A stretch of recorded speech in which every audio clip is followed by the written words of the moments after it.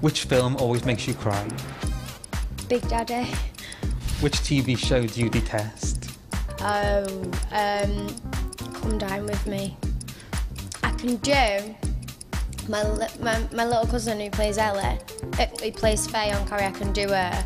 And she goes, Oh my god, so I was saying this and no, I didn't even do that. Why are you doing this? That's what she sounds like. It's good though, isn't it?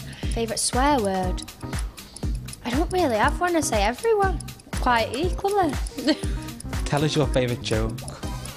what do you do when a bird poos on your car? What? Never take her out again. it's the only joke I have.